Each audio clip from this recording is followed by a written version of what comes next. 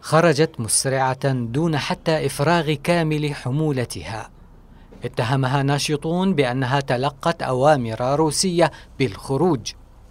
تعرضت كوادرها لساعات مما يتعرض له أهالي الغوطة منذ ست سنوات. إنها قافلة المساعدات الأممية. الفشل الأممي في إيصال المساعدات كاملة كما رآه البعض عزاه مكتب تنسيق الشؤون الإنسانية للأمم المتحدة لتكثيف النظام القصف على المنطقة وقت وصول القافلة لداخل الغوطة.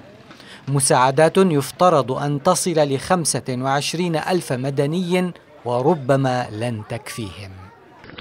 إعاقة النظام لإيصال كامل المساعدات عقب عليها الأمين العام للأمم المتحدة أنطونيو غوتيريش بدعوة ما وصفهم بأطراف النزاع إلى السماح للقوافل القادمة بوصول آمن بلا عوائق دون التطرق إلى المتسبب الحقيقي بعرقلة وصول المساعدات.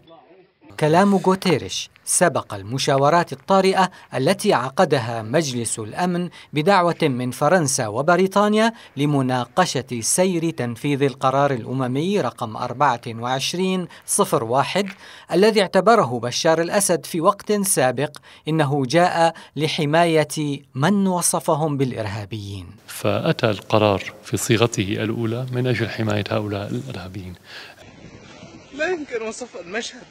الذي يحدث الآن هنا في الغوطة الشرقية. المأساة الإنسانية الحاصلة في الغوطة الشرقية والتقدم الكبير الذي أحرزه النظام منذ بدء عملياته العسكرية يبدو أنها لم تمنع فصائل الثوار من صد تقدم النظام على جبهة المشافي قرب طريق حمص دمشق الدولي وقتل عدد من جيش النظام وتدمير وعطب آليات عسكرية.